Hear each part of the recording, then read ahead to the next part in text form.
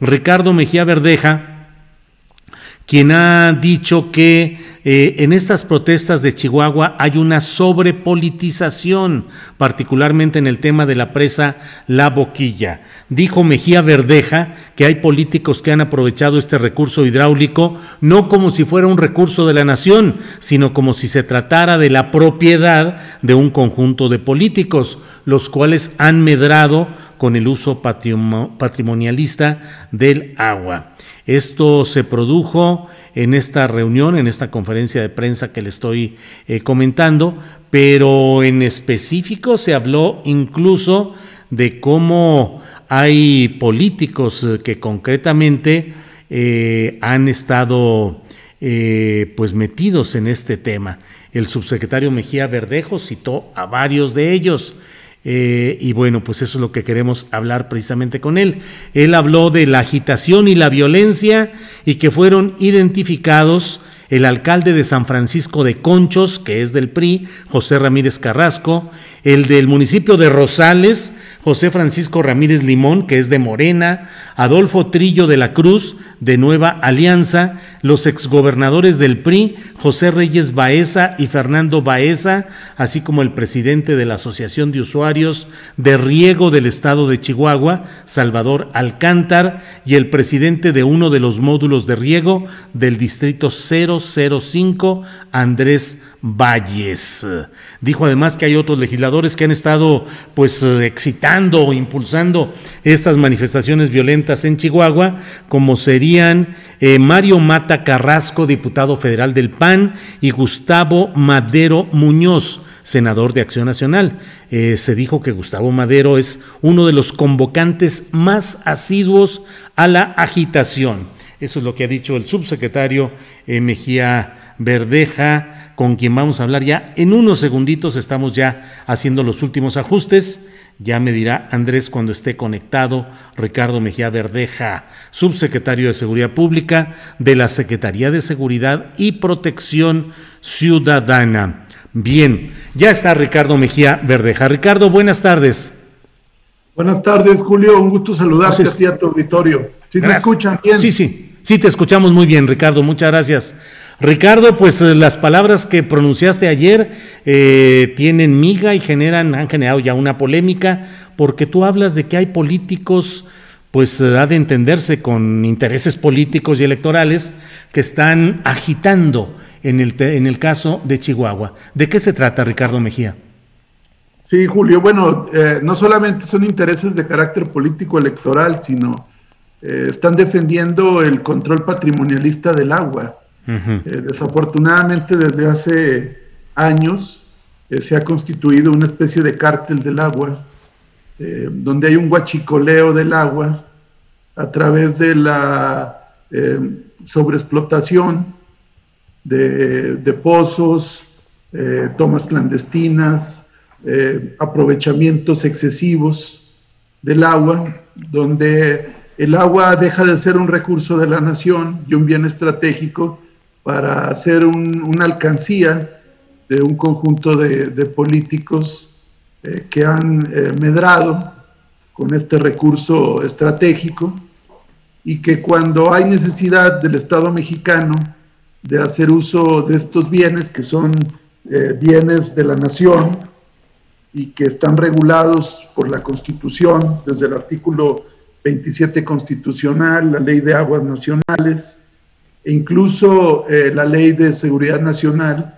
por ser un recurso estratégico, cuando se tiene que hacer uso de este recurso, pues eh, generan eh, y auspician una especie de rebelión precisamente para impedir que el Estado mexicano cumpla con una obligación internacional que además es amplísimamente ventajosa para el país, pero han eh, difundido una serie de eh, mentiras para pues, generar agitación, para envolver desafortunadamente a, un sector y eh, tratar de impedir por la vía violenta que el Estado mexicano cumpla con un compromiso que además, hay que decirlo Julio, no es que el país esté entregando agua a Estados Unidos, estamos hablando del agua que desemboca en el río Bravo y que como tú sabes, como todos sabemos, pues el río Bravo es, es eh, de ambos países porque está en la mera frontera. Entonces,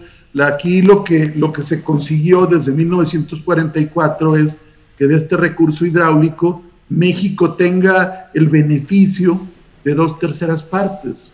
Eh, y cada cinco años se tiene que ir cumpliendo con esta aportación. Desafortunadamente, eh, gobiernos anteriores incumplieron con este pago y le toca ahora al gobierno del presidente Andrés Manuel López Obrador pues honrar este compromiso. Y cuando hay necesidad de poder disponer de este recurso pues generan toda esta eh, agitación porque eh, lo que no quieren Julio es pues que les toquen su lo que ellos consideran de su propiedad. O sea no y lo ha dicho, incluso hoy lo dijo Gustavo Madero, dijo, es que ya es un bien privado, porque hay concesiones. Yo creo que no solamente esto revela una profundísima ignorancia de lo que es el cuerpo de la Constitución, sino esta mentalidad patrimonialista, donde el agua se convierte en un recurso de unos cuantos, que además, hay que decirlo, eh, no es una eh, revuelta de, de carácter eh, de pequeños agricultores, de campesinos, es de, gente que tiene extensiones importantes de terreno, recursos, que han puesto delegados de Conagua, que se han servido de, estas instituciones y que ahora que, insisto, el Estado mexicano quiere hacer valer la ley, pues generan todo este tipo de movilizaciones donde está eh, exhibido que distribuyeron eh, cientos de palos, distribuyeron alcohol, distribuyeron bombas Molotov, y que esto habla de una premeditación, porque no, no fue una convocatoria, una movilización pacífica en uso de un derecho constitucional, sino ya había una intención de, de ir a confrontar a las fuerzas federales de seguridad y que va acompañada de una serie de hechos eh, que ya se habían visto en, en Ojinaga, en, Delicias y también en Villahumada. El día de ayer en Villahumada eh, un movimiento, perdón, hace dos días hay un movimiento que pide la salida de la Guardia Nacional y, no hay ninguna explicación. Nosotros creemos que también puede haber atrás de este tipo de, de, posiciones, pues también eh, una mano interesada de grupos criminales, pues que a ellos les conviene que se debilite la presencia de las fuerzas federales en Chihuahua. Eh, Ricardo Mejía Verdeja, subsecretario de la Secretaría de Protección y Seguridad Ciudadana, eh, planteas eh, términos muy preocupantes. Has hablado de revuelta, de rebelión, de agitación. ¿En Chihuahua hay una revuelta o rebelión de la derecha contra el actual gobierno federal? Pues eso es lo que se deja ver y, sobre todo de, de, de este huachicoleo del agua de gran escala. O sea, nos hemos eh, visualizado mucho el tema del petróleo, pero el agua es también un recurso estratégico, más eh, en la perspectiva de lo que viene como civilización, el cambio climático, la necesidad de cuidar los recursos hidráulicos. Entonces, eh, este bien tan preciado pues se convierte en un tesoro o en un bien que quieren expropiar estos grupos y para ello pues alimentan esta idea de que se van a quedar sin agua los agricultores, de que se les va a dejar en el desamparo. Y por ningún motivo el presidente de la República ha sido muy enfático, se va a dejar a ningún agricultor sin agua en Chihuahua.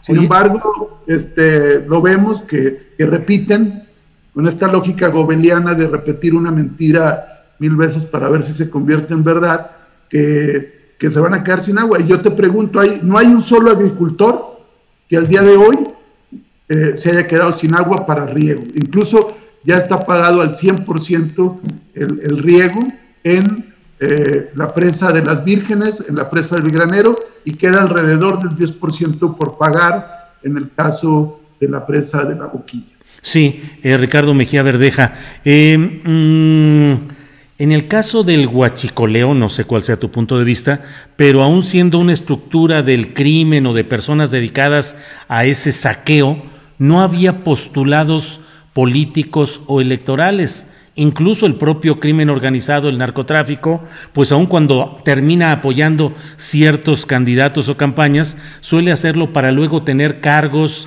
especiales en ciertos lugares clave de los municipios, de los estados, o para tener protección de fuerzas policíacas. Pero en Chihuahua estás hablando no solo del saqueo de recursos, sino de un planteamiento político y electoral que trata de confrontar al gobierno.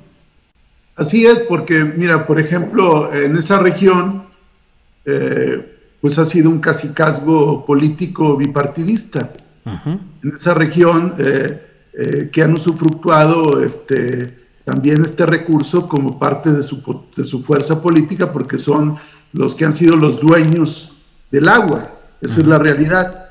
Y han puesto delegados de Conagua, han sacado permisos de explotación. Entonces, cuando tú les cambias la lógica y les dices, oye, eh, vamos a cuidar que nadie se quede sin cultivo, sin que, todo el mundo tenga agua, pero el país requiere este compromiso para cubrir, y además Chihuahua, que es un estado eh, que tiene que cuidar más que quizá ningún estado del país eh, la relación bilateral, pues resulta que, que, por ningún motivo quieren que, que se saque una gota de agua de las presas y sobre todo de la boquilla que se ha convertido, insisto, en la alcancía del agua de este, de esta, de este grupo que ha venido usufructuando eh, para sus propios intereses el agua.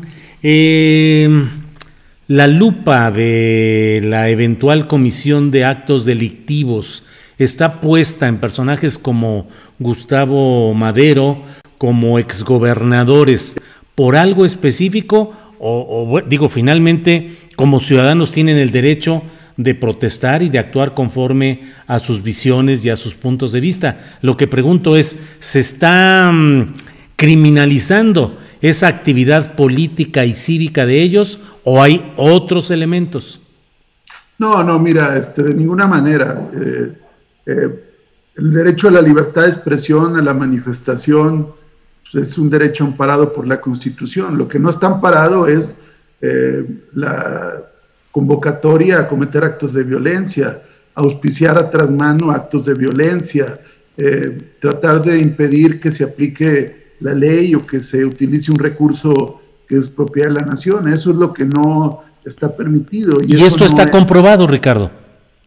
Pues tenemos eh, elementos, pero evidentemente esto lo va a tener que dirimir la instancia competente que es el Ministerio Público, pero lo que sí está comprobado, Julio, es que hubo eh, palos, cientos de palos, que hubo alcohol, que hubo eh, actitudes de franca confrontación con, con, las fuerzas federales, que hubo desacato, que estuvieron en las reuniones. Y bueno, esto es por la parte que, que corresponde a los hechos del día de antier, pero evidentemente, como dice el refrán, para tener la lengua larga hay que tener la cola chica, ¿no? Habrá, Solicitud de acción penal contra Gustavo Madero y los exgobernadores Reyes no, Madero tiene, Madero tiene, tiene, tiene fuero. Y, de ninguna manera estamos, y además no somos la instancia que, pide ese tipo de situaciones, eso le corresponde al Ministerio Público. Pero yo te diría que, que eso lo tendrá que, se tendrán que deslindar responsabilidades. Yo veo eh, que hay eh, mucha enjundia para pedir eh, la aplicación de la ley y la justicia en, en una situación muy lamentable que, surgió ese mismo día ya muy tarde, eh, pero veo que, quieren como que se olvide todo lo que pasó eh, en estos hechos, o sea, ¿quién eh, estuvo atrás de las bombas Molotov? ¿Quién estuvo atrás del reparto masivo de, palos? ¿Quiénes tienen responsabilidad por estar agitando, por poner vehículos para, para este tipo? Eso yo creo que hay que, hay que verlo. ¿Y ustedes tienen ya nombres a señalar como presuntos responsables de esto? Pues mira, eso lo puede ver cualquiera, no necesita ser uno Sherlock Holmes para... Bueno, pero tú como autoridad... pero tú como autoridad... Nosotros vamos a acercar a lo que el Ministerio Público nos pide en su momento, pero lo que te puedo decir es que eh, es evidente porque ellos eh, eh, estuvieron en este evento, estuvieron encabezándolo, y evidentemente pues eh, tendrán algún tipo de, responsabilidad. Pero bueno, más allá de ese evento en sí mismo, Julio, lo que es importante señalar es que se tiene que poner orden en este huachicoleo del agua. Han querido ubicar el huachicoleo en algunas eh, tomas clandestinas o, lo que se conoce como popotes en el, en el río, no, pero yo hablo de estos permisos y este acaparamiento que hubo de muchos de estos eh, que están al frente de la movilización. Eh, ese es el verdadero huachicoleo. Y además hay un conflicto de interés. Por un lado dicen que defienden a, a la comunidad y que como ciudadanos, pero no dicen todos los intereses que están atrás de ellos y no necesariamente muchos son de carácter legítimo. Entonces, este tipo de situaciones se tendrá que ver eh, y evidentemente que lo que nosotros buscamos es que, impere la ley y, ese es el papel que nos corresponde como, autoridad.